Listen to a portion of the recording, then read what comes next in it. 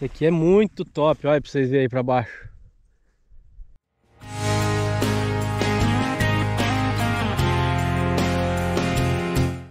Ô turma, bom dia.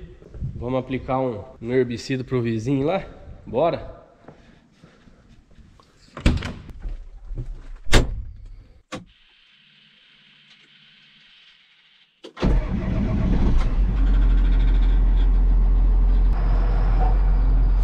turma, bastante frio por esses dias, mas nada de geada, tá? Podem ficar tranquilo que saiu ali aquelas notícias, né? Nossa, vai dar geada no Paraná, mas não apareceu nada não. É que pra nós, assim, é bastante... Dá bastante geada, mas ainda nós está num, num lugar alto. Aqui nós tem 600 e poucos metros de altitude de nível do mar, né? Então aqui aparece geada, mas não nessa época, igual lá pro Rio Grande do Sul, para aqueles lados lá. Aqui geralmente as primeiras geadas aparecem ali em é, maio, né? Em maio. Lá pro dia 15 de maio, por aí, se chover, vem aquela. Nossa, ali vem. Já vem geada, ali já aparece geada. Mas o mês que dá geada forte mesmo, que congela tudo, os altos, os baixos, tudo. É o mês de julho. Julho aqui, rapaz. O cachorro mijou na estrada, já gia.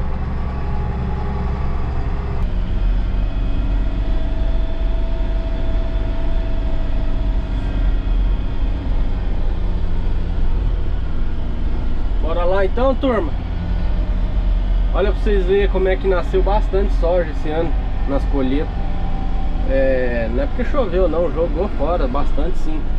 Naquela condição não tem colhedeira até o momento que, que colhe sem jogar, né? É muita coisa, né, turma? 25 de umidade é fora de base. Aí, ó. Até que aqui jogou menos, mas tem umas areias nossa ali que Deus o livre. Aqueles lugares que nós colheu, teve umas passadas que nós deu com o coco entupido. Hum, rapaz do céu. Pensa numa cobertura de solo que ficou. Ô turma, falando em cobertura de solo, é isso aqui que eu queria mostrar pra vocês nesse vídeo, ó. Olha isso aí, ó. Aqui que tá o... Nossa, cara. Ó o nosso e ó o do vizinho aí. Que coisa linda, cara, essa braquiária. Olha, campo aqui, ó. Aquele outro lá, aqueles verdinhos claros, é tudo dele. Olha que bonito fica. E olha que cama que vai virar isso aí. Isso aí vai virar... Nossa, e fica 1,80m, 2m de altura. É claro que não para em pé, né? Mas cresce virado no bicho isso aí. Rapaz. E turma, é, aqui eu vou falar mais pra vocês, depois vou parar ali, depois que eu fazer o servicinho lá. Mas aqui eles. Aqui tem um pessoal que planta. É, eu não vou entrar em detalhes, né? Pra não não expor o pessoal aqui, nossos vizinhos, nós quer o bem para eles, assim como eles querem o, é, o bem para nós, né?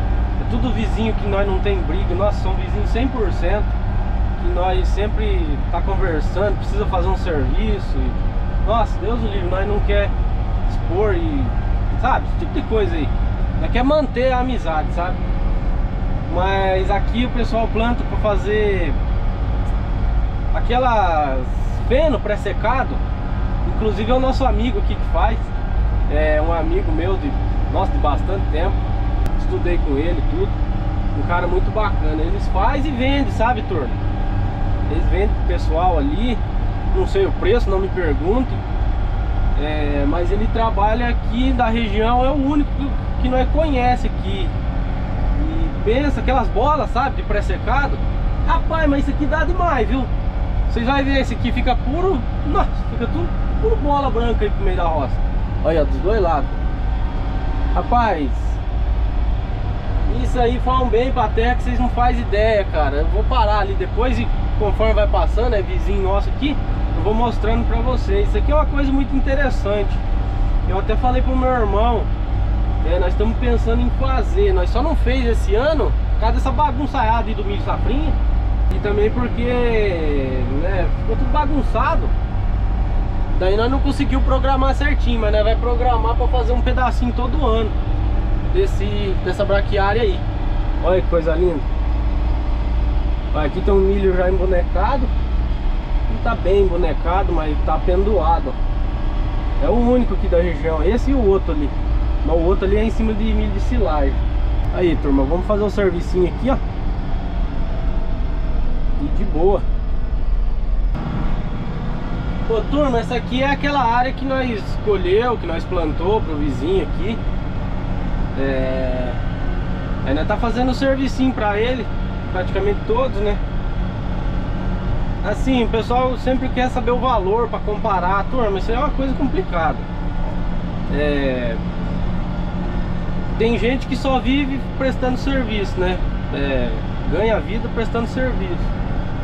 Então, às vezes muda para você fazer um serviço para um vizinho, uma pessoa conhecida de muitos anos da família, entendeu? É, de repente eu, eu, eu, geralmente não falo preço por causa disso. Depois o cara, ah, o cara lá tá fazendo mais barato que você, não, você tem que fazer o mesmo preço. Então eu não falo. Cada um tem que combinar o que, que sabe que o serviço vale. Se acha que tá barato, não vai. Aí cada um faz do jeito que quer, né? É, é difícil falar de valor. Eu não falo por causa dessas confusões aí que viram.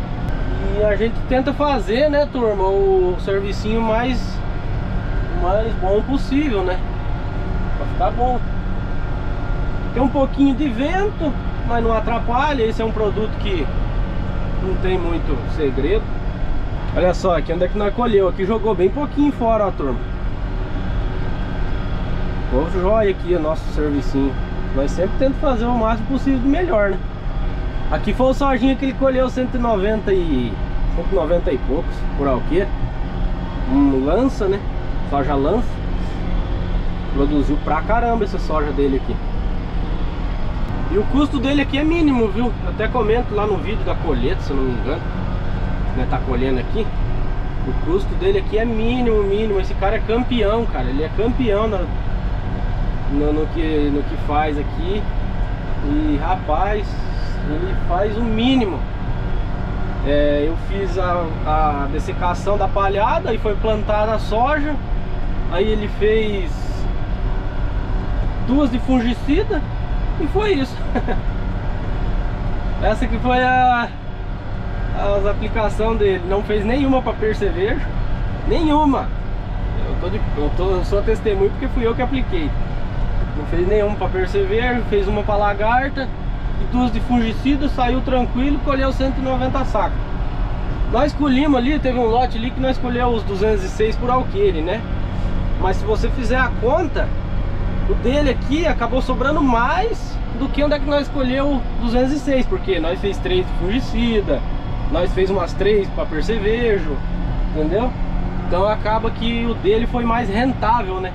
Sobrou mais, no caso. Cada um tem um pensamento, né? E ele não tá errado não, viu, turma? Olha lá contra o sol como é que atinge bem, ó.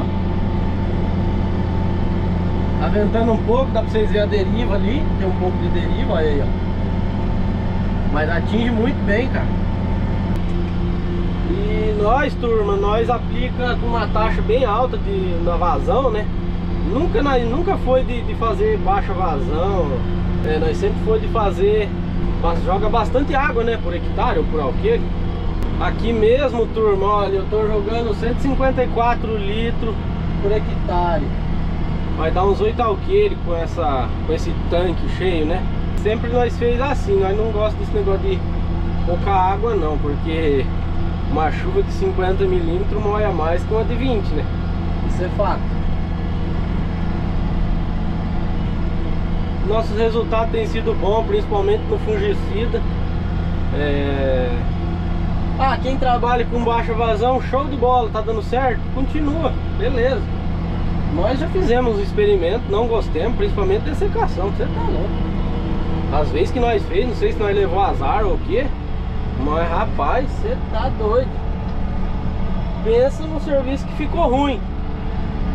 Pessoal muitas vezes pergunta do bico ali que nós usamos. Cara, nós não. Turma, nós não mexe com nada dessas coisas de bico não sei do que, com indução, bico duplo de não sei do que. Cara, sei lá. O importante é lá, tá atingindo. Entendeu? Tá atingindo mesmo com vento. Esse aqui se tivesse parado de vento, rapaz, molhava o chão. E tipo assim, é claro que deve ter coisa mais moderna, a tecnologia sempre é bem-vinda, né? Mas nós não mexe com esses negócios de bicos aí, né? Podia até testar, fazer uns testes, fazer um comparativo aqui, mas sei lá, nós, esse aqui é o bico original que veio na máquina, bico leque, aquele amarelo, acho que é o 02, se não me engano. É... Nós usamos ele, sempre usamos, desde a da Columbia Cross sempre foi o bico leque comum, nunca troquemos bico. Mas não era ruim testar não, era bom até pra gente ter uma base, né? Mas como nós joga bastante água, turma, não vai fazer diferença. Importante é molhar lá, a praia fica molhada quando para de ventar. Turma, missão realizada com sucesso. Zerar o servicinho. Aqui é só questão de paciência, não é não é muito demorado, mas tem que ter paciência fazer o serviço bem feito. Vamos aproveitar e dar uma, uma lavada no pulverizador por dentro, né? E esse pulverizador tem esse aqui, ó. Você colocar água limpa para você limpar ele por dentro, limpar as barras, entendeu? E ajuda. Não é tão bom assim, mas ajuda bastante. Aí aqui, ó, a gente muda pro tanquinho, ó. Lá o tancão e o tanquinho. Ele vai pegar a água limpa e vai jogar para as barras. Olha lá, turma. Só água limpa ali, ó, sem caldo, sem nada. Aí lá em casa nós lavamos o tanque porque nós quer fazer o fungicida no milho. Daí nós não quer que tenha resíduo de nada, né? É, o 24D eu acho que não faz nada no milho. Diz que atrofia, mas eu acho que não faz nada não. É, mas é bom não ter nada, né? É bom entrar com o pulverizador limpinho. Aí lá na casa nós lavamos o tanque dele. E daí fica zero, pronto para entrar no fungicida lá no milho. Ô turma, cheguei aqui em casa. Vocês estão vendo os vidros, como é que tá sujo? Isso aí é um pouco de produto que veio, sabe? Da deriva. Olha aí, ó. Imagina se não tem gabina. Coitado do peão, é dessecado. Nós vai bater uma água Esse trator aqui Tirar esse, esses produtos é muito corrosivo Eles danificam demais Aí nós vai bater uma água aqui Porque daí é só fungicida, né? Fungicida é mais tranquilo Não é esse Essa corrosão do, desses produtos Herbicida aí é mais É mais complicado Aí nós vai bater uma água e tirar esse Esse produto aí Ô turma, eu falei pra vocês que eu ia mostrar Ali a cobertura de solo a, a braquiária aqui. Eu acabei esquecendo na hora que eu tava aplicando lá. Mas eu voltei aqui mostrar pra vocês. Olha aí, ó. Finzinho de tarde, já tá bem frio. Olha aí, turma, é isso aí, ó. Rapaz, falar pra vocês, isso aqui é de invejar, viu? Isso aqui é muito top, olha pra vocês verem aí pra baixo. Vocês acham que isso aqui não é bom pra terra? Esse aqui que é, é o caminho, é esse aqui, cara. E é muito mais do que nós estamos olhando aqui. Ah, tá bonito, tá bem cuidado, mas o segredo da braquiária tá no solo. Olha lá, turma. Olha lá. Olha aí, ó. Olha. Olha que nata que vira terrinha. Olha aí. Nossa, cara. E essas raízes da braquiária, segundo o que a gente vê falar, elas vão muito profunda no solo e acaba abrindo poros, né? É, microporos no, no solo. E isso ajuda demais, tanto na descompactação do solo, para infiltrar água, né, também. Então ajuda demais. Turmada, eu tô num resfriado por esses dias, vocês vão me desculpar aí a situação, mas tá feio o negócio. Então, turma, é isso aí, ó, é de invejar demais aqui, né? Aí a nossa terra aqui, ó, pelada, e aqui o top do momento. Ah, capaz, isso aqui é top demais. Até tava falando pra vocês que eu conversei com meu irmão. Nós quer muito fazer isso aqui, cara, mas muito mesmo. Só que esse ano não dá mais, turma. Porque isso aqui é uma coisa que tem que... A braquiária, ela tem que... Você tem que colher o soja e já plantar, sabe? Nessa época, no frio aqui, ela até vai. Mas é, ela tem que pegar aqueles dias ali pra ela, pra ela ficar assim, ó. Depois daqui não tem quem segura. Pode fazer frio. A geada mata ela, tá? A geada mata. Mas tipo assim, depois que ela tá numa altura ali, É, rapaz, não tem o que segura mais não. Tipo assim, nós estamos planejando é, fazer um pedaço, testar, nós também queria testar o mix, mas esse ano não dá mais. Uma porque já tá tarde, né, turma? Como eu falei para vocês, já não comporta mais fazer um plantio desse aqui, né? Tem que partir para aveia mesmo ou trigo. Então, é, esse ano não dá mais, já tá fora de questão. Ano que vem, nós queria fazer um pedaço para nós testar. Esse ano nós vai ficar na aveia mesmo, fazer a cobertura tradicional com aveia. E vamos ver como é que vai ser. Mas é top demais, né, turma? Olha aí, cara, vira um pastão. Vai me dizer que não dá vontade de soltar um gado aqui. Ei, ai, ai. Mas o povo não faz isso aí aqui não. Ih, aqui essa região aqui, pra você ver um gado no meio da roça. Rapaz, aqui o povo preza pelo solo e pela essa cobertura aqui, ó. Só que igual, igual eu falei pra vocês, turma, aqui vai ser feito o corte, tá? Vai fazer o pré-secado com isso aqui. Aí eu não sei, né, qual que é o combinado do pessoal. Mas daí ela brota de novo, porque esse aqui tem uma força total. Aí ela vem mais uma altura, daí sobra a quantia aqui para fazer a, a cobertura de solo, entendeu? Aí fica... Eu acho que vai ficar mais ou menos isso aqui, ó, no, no final. Não, acho que um pouco mais. Um pouco mais que isso aqui. Vai ficar esse aqui, ó, o dobro mais ou menos. Que vai sobrar aí para fazer a cobertura de solo. Deus o livre, vocês calculem a matéria orgânica que não vai ficar aqui? Rapaz, isso aqui é um sonho. Olha, o cara que tá fazendo isso aqui, o mix no, ver... no inverno, é, rotacionando, deixando de plantar milho safrinha em alguns talhão. Rapaz, o cara, o cara tá no caminho certo. O cara tá no caminho certo e o cara tá de parabéns. Cara, eu tiro o chapéu pro cara que faz isso aqui. Até porque, igual eu falei pra vocês, nós quer fazer muito isso aqui. Só que tem que planejar, né? Aí você tem que rotacionar as áreas, nós temos umas áreas para arrumar. Então nós quer padronizando, entendeu, turma? Bom, turmada, é isso aí, ó. Vou deixar vocês com essa paisagem linda. Olha aí como é que tá bonito. E amanhã, nesse horário, provavelmente vai ser o próximo vídeo, nós vamos estar tá fazendo um fungicida no nosso milho. Olha aí que hora espetacular para fazer um fungicida. Nós vamos estar tá aplicando amanhã, Deus quiser. Esse foi o vídeo de hoje. Mais um dia bem trabalhado, graças às mãos de Deus. Um abraço a todo mundo e até o próximo.